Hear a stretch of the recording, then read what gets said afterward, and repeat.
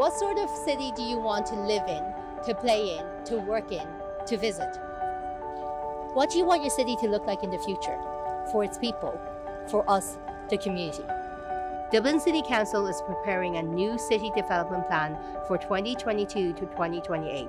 This plan will share our shared vision of our city and a plan for how to achieve that vision for Dublin and all our citizens for the next six years. We are facing difficult challenges for the city and its communities with the impacts of COVID, Brexit, and climate change.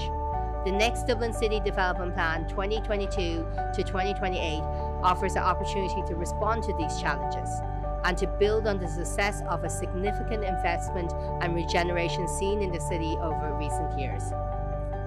The plan will set out strategic policy regarding climate change, housing, the city's economy, our culture and heritage, and much more. It will help guide the future development of our city. This plan will affect us all, so it is important that you have your say in shaping this vision of Dublin. Visit the website to see the Strategic Issues paper, which sets out key themes and issues that will be considered in the new plan. We'd love for you to submit your views when it comes to deciding how to develop the, city. Your opinion is important, and we'd love for you to have your say.